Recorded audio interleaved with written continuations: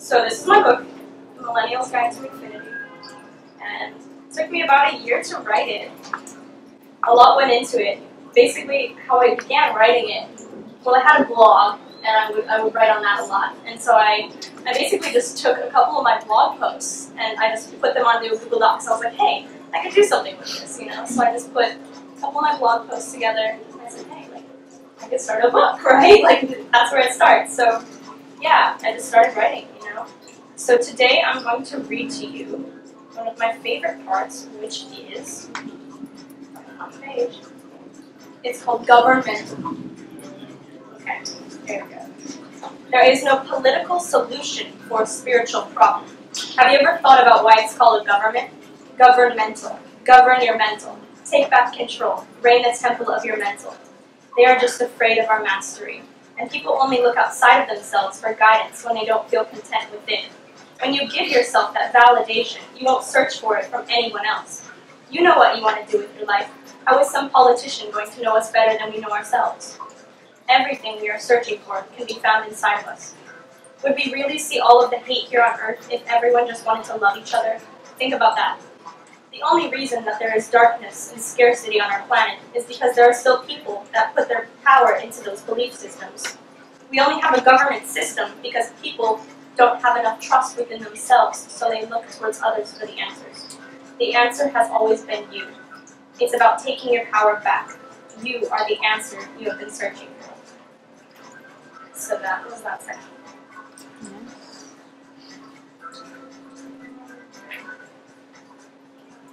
Okay, one of my favorites. So this is from chapter 6 called A New World, and it's called Finding Balance. Have you ever noticed how many more people in the world are right-handed? Couldn't that be a big hint that there is an imbalance of energy within the earth? The left part of your brain, the logical, masculine side, controls the right side of your body. The right side of your brain is the creative, feminine, and controls the left side of your body. This means people on Earth are using the logical right side of their bodies more.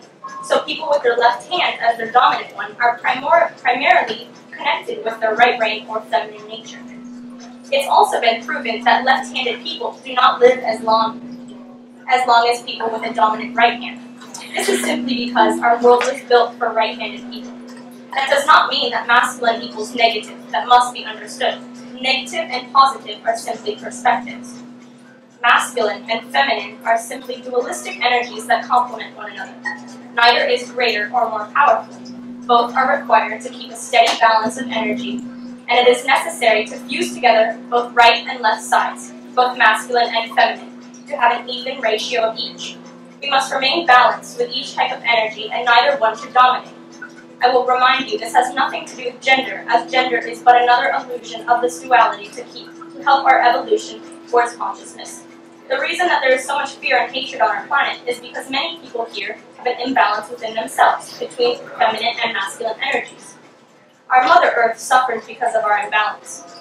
She has been dominated when she is aching to achieve balance.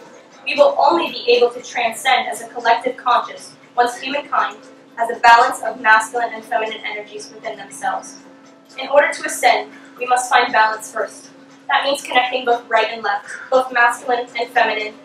We are moving out of our logical brain into our creative brain. And once you reconnect with the right brain and become inspired and feel your imagination, you will begin to balance yourself and everything around you. Pick up a pencil or a paintbrush and just express yourself. With whatever you are creating, it's about expression and not perfection. It doesn't matter how you do it, but you must. Believe in yourself. You are capable of creating anything and everything. The more you create, the more you feel your right and feminine brain. When we bring out the masculine and feminine within each other, polar activation happens. We must empower one another and reflect the light to attain balance. It is a great thing to be balanced with both your femininity and masculinity. Men must find their inner goddess and women must find their inner god. This does not weaken you. It gives you empowerment when you are balanced within yourself, within the planet, and within the universe. The revolution is inside yourself. We are the ones we have been waiting for. So that was that. I am waiting on a couple more people to show up.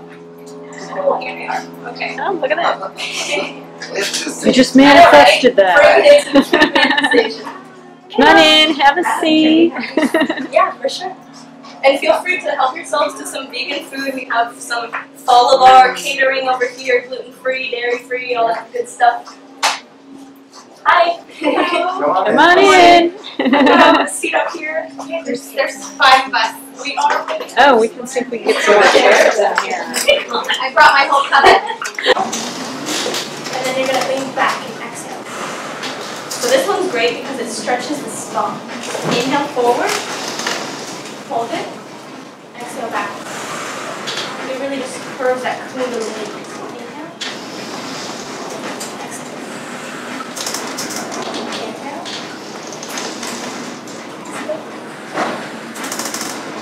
So you can keep doing that as we meditate. We're going to close our eyes and we're going to ground our energy into the earth. Okay? So keep breathing with me. I want you to feel your feet, feel your body sink down into the earth. With every breath you take, feel your weight. Feel your body get heavier and heavier with breath. So inhale. Exhale. Inhale.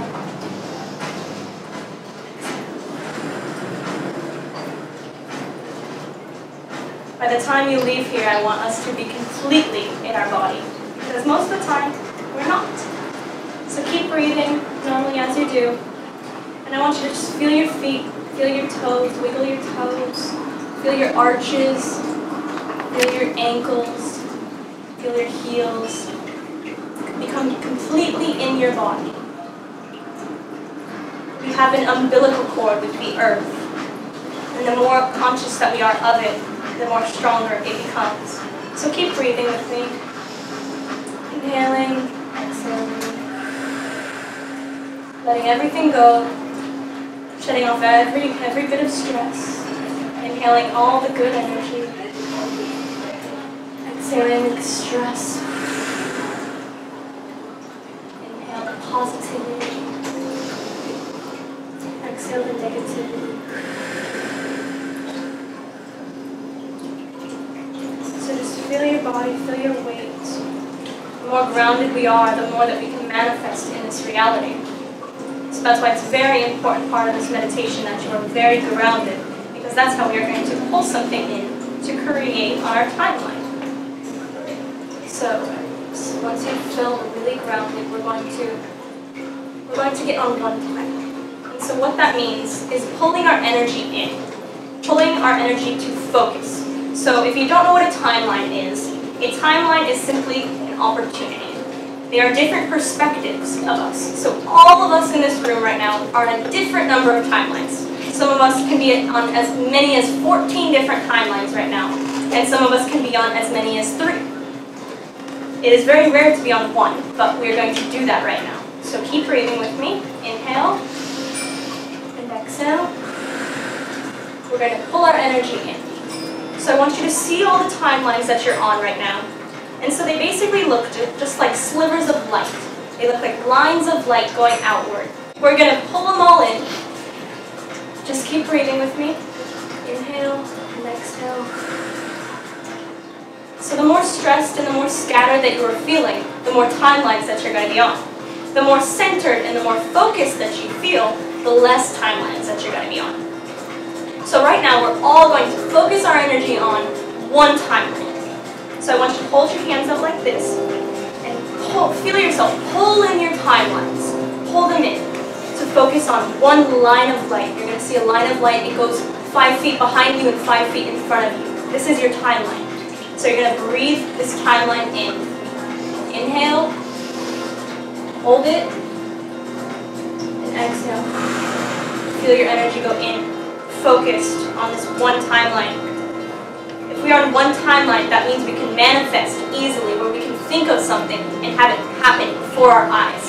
So that is what we're going to do here today. So keep breathing with me. Inhale. Hold your timelines in. Hold it. Exhale, release. So hopefully by now you're feeling more grounded, more centered, and focused. So keep breathing as you do and we are going to think of something that we're grateful for. It can be anything. It can be your partner, your family, your house. It can be anything. Whatever it is, hold that gratitude in your heart, and with each breath, I want you to feel green gratitude expand more and more with each breath. So inhale, feel your heart expand. Hold it, hold it, hold that gratitude in your heart. Hold it. Exhale, release the gratitude. Now say, say this with me. I am grateful for the abundance in my life. I'm grateful for the abundance in my life. Mantras are very important because they help us reprogram our mind. They help us shed all the programming that we've been fed since we've been born. We are actually rewiring our brain when we repeat mantras. So say it again. I am grateful for all of the abundance in my life. I'm grateful For all of the abundance in my life. So again, keep inhaling. Inhale, hold it, hold, hold it. Feel the gratitude in your heart. Expand. Exhale, release. And I want you to see whatever it is that you're holding in your mind, whatever you're grateful for. Mine is for this moment. See it, see whether it's a person, whether it's, an, it's a material item, it can be anything. Hold that gratitude in your heart. And this is what we are going to use to manifest. Because the secret to manifestation is that you can only truly manifest once you are grateful. So we're going to use this gratitude that we've built up in our heart space, this green gratitude that we're breathing in. We're going to hold it in our heart and we're going to use it to manifest on this one timeline that we are now on.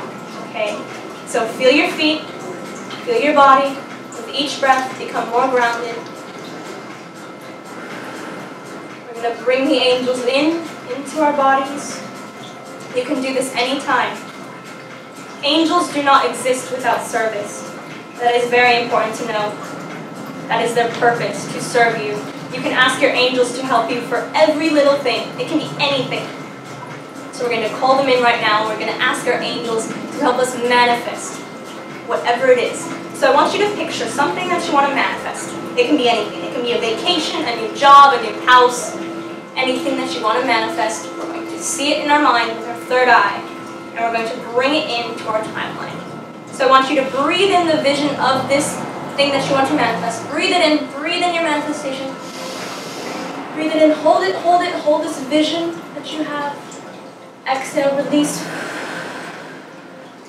We're going to put this, whatever it is that we're manifesting, we're going to put it on this timeline that we are now on. Since we're on one timeline, we're going to drop it. So I want you to see whatever it is that you're manifesting and just place it on the timeline that you're on. It can be anything.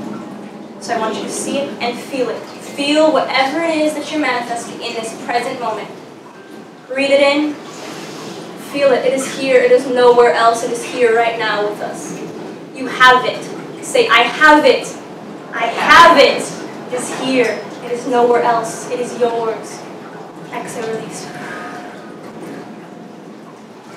So you can do this with anything. You can take this practice home and you can use it to manifest anything. But you have to remember that the secret to manifestation is gratitude. That will always be the way to manifest more. It's calling in that gratitude. Because if we are not grateful, then the universe will take away our blessings. So, just keep breathing, and I want you to feel, feel it in the present moment. You have it. Feel it with every fiber of your being. Trust that it is yours. Your bag was packed before you came to this planet. You have it.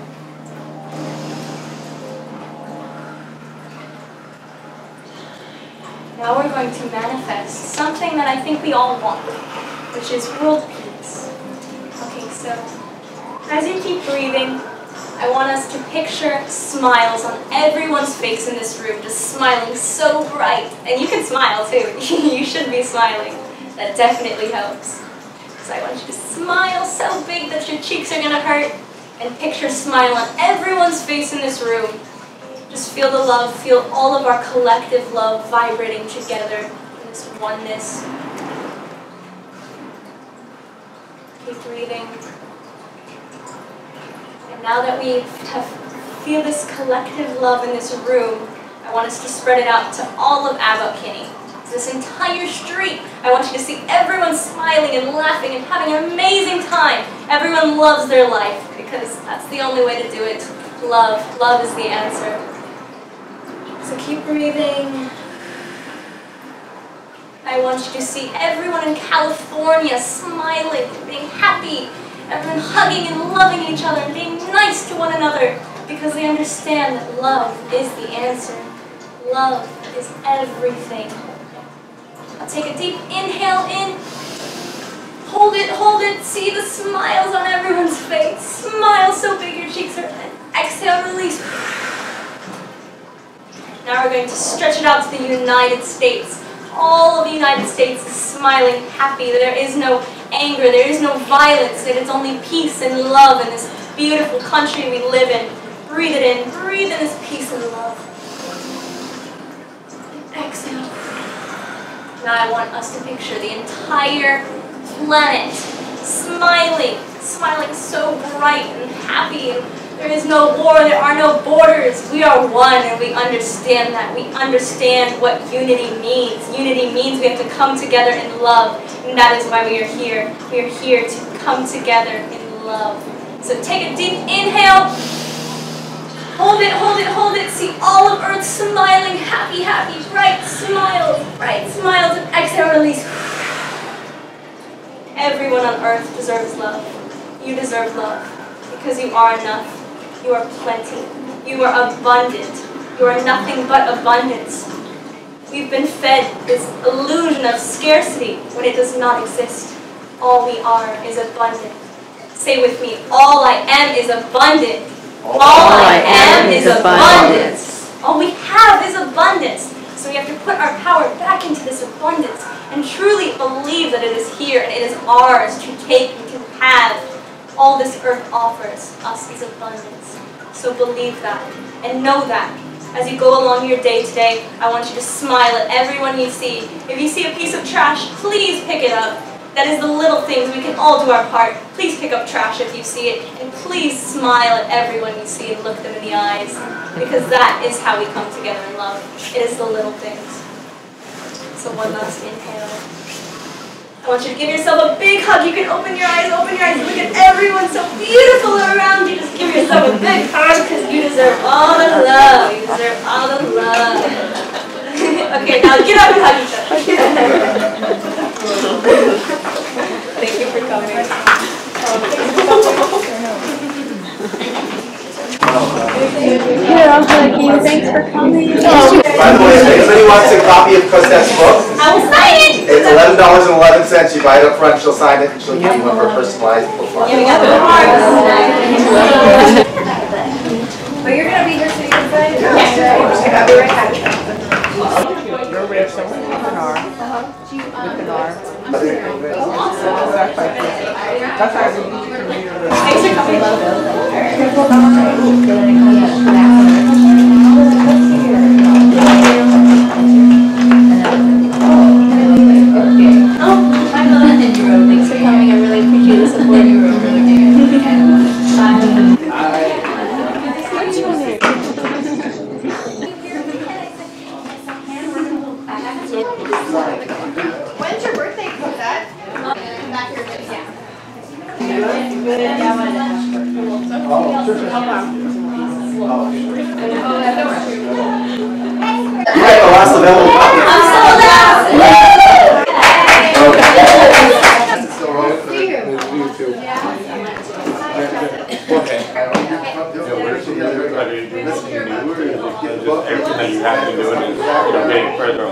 There we go.